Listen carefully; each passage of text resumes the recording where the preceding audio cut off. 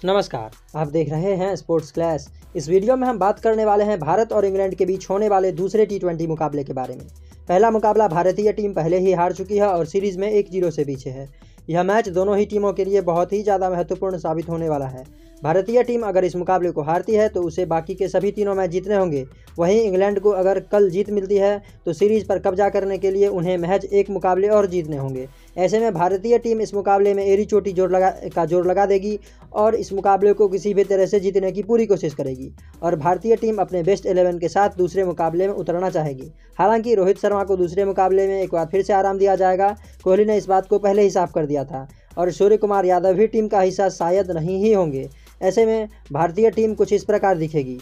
शिखर धवन, लोकेश राहुल, विराट कोहली, ऋषभ पंत, श्रेयस अय्यर, हार्दिक पांड्या, शार्दुल ठाकुर अक्षर पटेल, चहल, भुवनेश्वर कुमार और टी नटराजन तो बेहद ही कमाल की टीम नज़र आ रही है भारतीय टीम। हालाँकि बता दूँ आपको कि शिखर धवन और राहुल और कोहली भी इन तीनों ने बहुत ही ज़्यादा हद तक निराश किया था भारतीय क्रिकेट फैंस को, क्योंकि उम्मीदें थी इन तीनों ही बल्लेबाजों से कि काफ़ी ज़्यादा शानदार प्रदर्शन करके देगी भारतीय टीम के लिए। लेकिन जिन, जिस तरीके से इन तीनों ही बल्लेबाजों ने बल्लेबाजी करी, कहीं ना कहीं बहुत ही ज़्यादा हद तक निराशाजनक बल्लेबाजी रही इन तीनों की, खास करके विराट कोहली सिर्फ़ आए और चले गए। उन्होंने कोई भी रन नहीं बनाया, बिना खाता खोले ही विराट कोहली आउट हो गए और ये निश्चित तौर पर हैरान करने वाला था। और ख़ास तौर पे आपको बता दूँ कि विराट कोहली खुद भी जब शॉट खेल करके आउट हुए थे राशिद के गेंद पे तो वो खुद भी हैरान रह गए थे। उन्होंने जिस तरीके से एक लूट सा शॉट खेल दिया था और सीधा डायरेक्ट फील्डर के हाथ में ही बॉल चली गई थी। तो ऐसे में इन सभी चीज़ों से कहीं ना कहीं विराट कोहली और भारतीय टीम पार पाना चाहेगी और दूसरे मुकाबले को किसी भी हाल में